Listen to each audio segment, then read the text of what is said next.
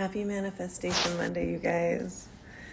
Oh, it's been a great week. Um, I spent a lot of time with my family last week, and it reminded me once again that the most important gift we can offer ourselves or those that we love or anyone we come into contact with is the gift of our presence. I am calling into my life this week calm, ease, and presence. Um, so, my affirmation is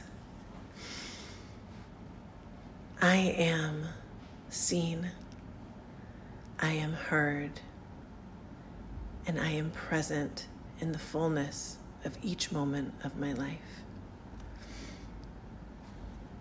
Happy manifesting.